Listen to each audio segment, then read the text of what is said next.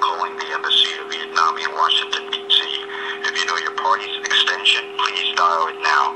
For Ambassador's Office and Administrative Section, press 1. For Consular Section, press 2. For Political Section, press 3.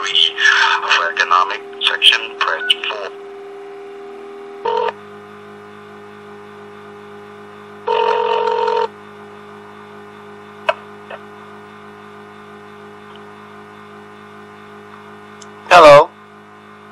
Hello. Hello. Dạ xin hỏi ờ, xin hỏi anh có nghe em nói, chuyện không ạ? À, anh nói đi, có, có gì anh nói đi. Dạ, xin hỏi ờ, em tên là bằng anh xin hỏi anh tên gì ạ? À, tôi là Quang. Dạ chào anh Quang ạ. Em ờ, em là người Việt ở bên California. Ờ, có ờ, vấn đề muốn hỏi anh về ờ, một, một một vài chuyện. Anh có thời gian cho em hỏi không ạ? À, nếu mà về cái đấy à, thì liên quan đến người Việt thì anh gọi thẳng sang cái số máy. Dạ không ạ, tại vì em là người Việt chứ mà là liên quan tới người Việt. Em có một cái câu hỏi liên quan đến chính trị. Và nếu mà vậy thì anh muốn em nói chuyện bằng tiếng Anh hay là bằng bằng tiếng Việt ạ? Tại vì em gọi vào trong cái phần bằng tiếng Anh đây. À, nếu mà nếu mà tất cả các vấn đề liên quan đến đến đến người Việt ấy, thì cái phòng chính trị này nó làm chính quyền Mỹ. Dạ, dạ đúng rồi, ờ, cũng là liên quan đến cái vấn đề ngoại giao đây anh ạ. Chứ không phải là vấn đây là vấn đề của ờ, của Việt Nam đâu anh, của người Việt Nam đâu.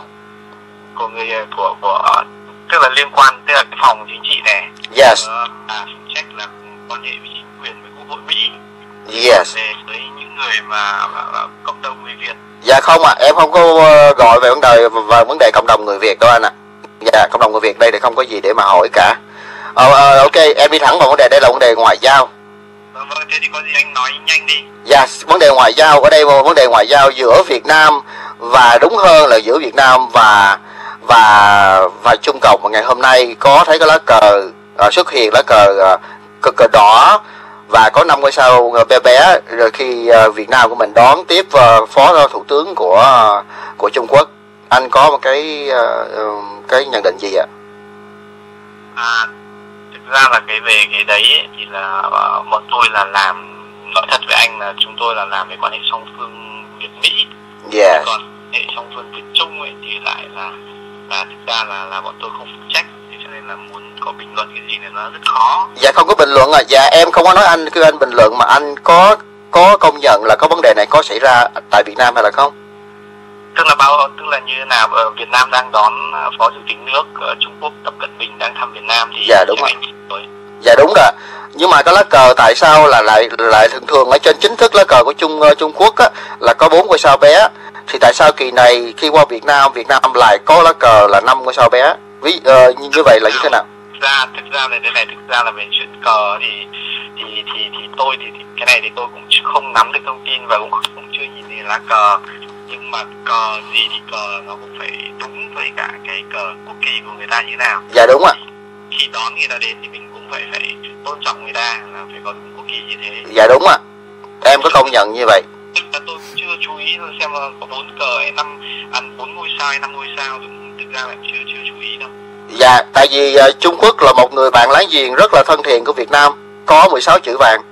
Thì ờ, người dân Việt Nam mình rất là tôn trọng cái lá cờ của ờ, của Trung Quốc, một cái ngôi sao lớn và bốn cái ngôi sao nhỏ. Và bất cứ nước nào mà đến có nguyên thủ đến thăm mình cũng phải treo đúng cờ của nước Dạ đúng, cần phải vậy nhưng mà không có cái bất cứ nước nào thế. nhưng mà tại sao tại sao Việt Nam mình lại đón một với một cái lá cờ nó bị dư một cái ngôi sao? Ra cái này thì tôi tôi nói với anh rồi là tôi cũng không nắm Sau đây là Trong đài thông tin chi tiết. VTV1 Thưa quý vị có và các đăng- bạn, tiếp tục kỳ này là lần thứ hai trong đài Nhân dân Trung VTV1 Hoa theo lời mời đã của đăng Tổng bí cái lá thư cờ Chủ tịch này. Trung Quốc Hồ Cầm Đào. Hôm nay Tổng Bí thư Nguyễn Phú Trọng và đoàn đại biểu cấp cao Đảng ta đã tới thăm thành phố Thâm Quyến, tỉnh Quảng Đông tại Trung Quốc. Đồng chí Vương Vinh, Bí thư Thành ủy Thâm Quyến đã đến tiếp kiến Tổng Bí thư Nguyễn. Phú Tại vì dạ tại vì anh đang làm trong ờ, bộ ngoại giao của Việt Nam cho nên em mới gọi bên điện thoại vào để hỏi. Tại vì ngoài ra không tôi, tôi, cái này tôi có thể khẳng định với anh là treo cờ là treo cờ đúng của họ. Như vậy thì anh nghĩ là nếu mà cái lá cờ năm năm sao nhỏ là một cái lá cờ đúng? Tôi không tôi không khẳng định với anh là bốn năm sai bốn sao bởi vì thực ra là tôi nói với anh rồi tôi không phụ trách quan hệ song phương Trung Quốc cho nên là cũng không để ý xem là sao nhỏ sao to thế nào. Dạ vấn đề này vấn đề này không phải là vấn đề anh phụ trách về một cái gì cả. Đây là mình nói chuyện giữa nhau với lại là người Việt Nam có kiến thức về vấn đề thế giới và đặc biệt hơn anh làm về vấn đề ngoại giao. Thì vấn đề lá cờ rất là quan trọng. Người Việt Nam phải biết là kỳ mà cho nên rất quan trọng cho mình rất tôn trọng họ. Và bất cứ nguyên thủ nước nào đến mình đều phải treo đúng cờ của của yes. họ không thể không thể treo nhầm được. Nếu tôi có khẳng định với anh còn 4 sao 5 sao hay là như nào thì tôi cũng không nắm được tôi giống như anh tôi cũng dạ em thì nắm được. em thì nắm được cái vấn đề này. Và tại vì lá cờ của Trung Quốc là một ngôi sao lớn và bốn ngôi sao bé nằm ở phía góc bên tay trái của cái lá cờ Trung Cộng. Thì đây là một chuyện uh, thực tế và thật rất thực ờ mấy sao như này anh quan tâm như thế có nghĩa là gì hả anh? Dạ tại vì em thấy là cái chuyện gì đang xảy ra ở Việt Nam tại sao Việt Nam lại đón tiếp một lãnh đạo của Trung Quốc sang Việt Nam với một cái lá cờ năm ngôi sao? Thì đây là một cái cái cái cái cái băn khoăn của người Việt Nam trong và ngoài nước. Cái ngôi sao thứ năm đại diện cho ai? Có phải đại diện cho mình hay là không?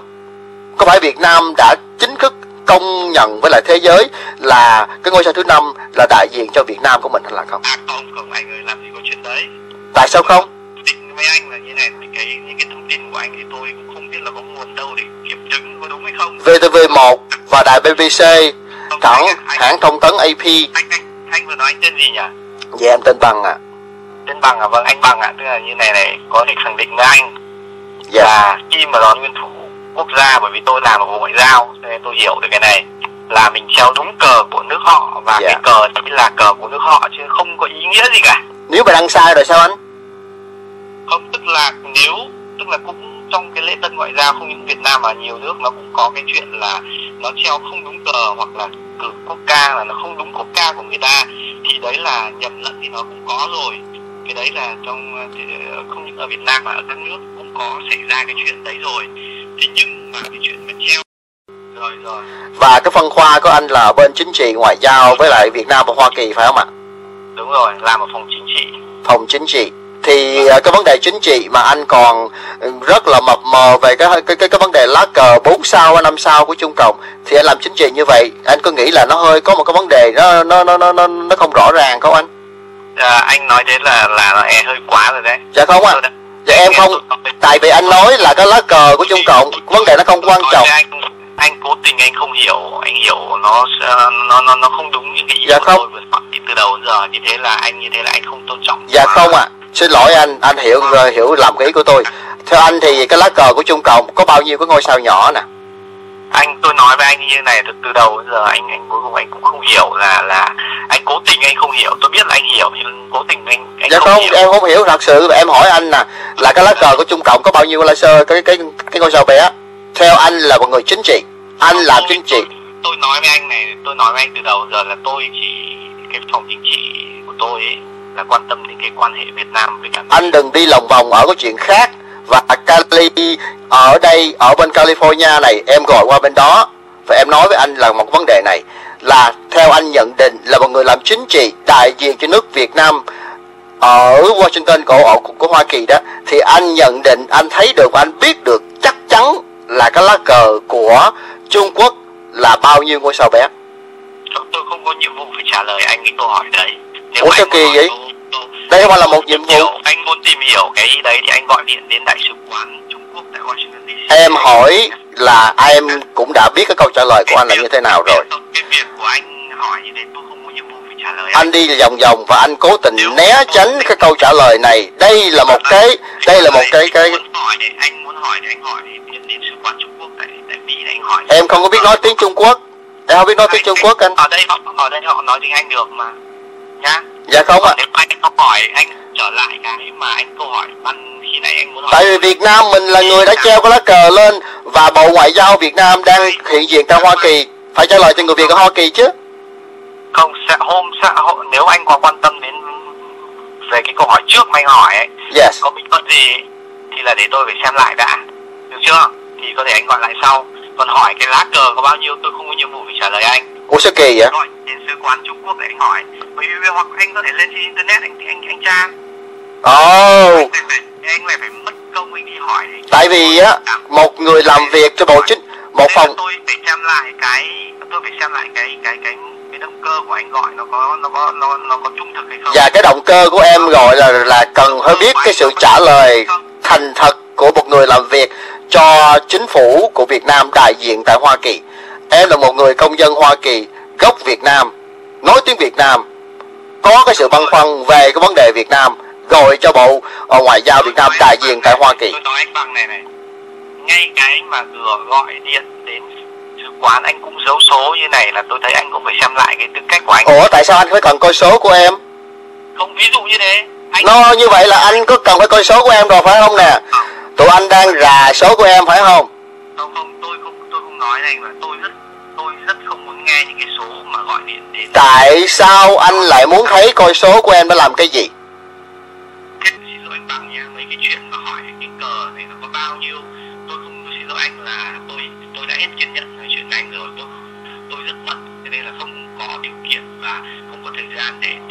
Lời xem là cái đại lá cờ nó bao nhiêu sao? Rồi là nó Đây. Đây là cái câu trả lời xin ờ, xin phép anh. Anh đang nghe ở trên một cái diễn đàn một cái nơi công cộng. Kelly xin lỗi quý ông bà và các anh chị anh ta đã cướp máy. Và quý ông bà và các anh chị vừa nghe và đặc biệt hơn nữa các bạn ở trong nước. Các bạn ở trong nước các bạn ở trong nước vừa nghe một cái người đại diện cho Bộ Ngoại giao Việt Nam làm việc tại Washington DC trả lời những câu hỏi vòng vo Kali hay là anh ta là người trả lời trả lời câu hỏi vòng vo. Nguyên nguyên ông các anh chị. Người nào là người đã trả lời một câu hỏi vòng vo? Không đi thẳng vào vào vào, vào cái vấn đề. Và cuối cùng cũng phải ló đầu ra cũng dở cái thói là công an dở cái thói gì cọc ra để mà muốn biết coi cái người nói chuyện của mình là ai quyên ông bà các anh chị. Họ muốn biết số điện thoại của cái để làm cái gì?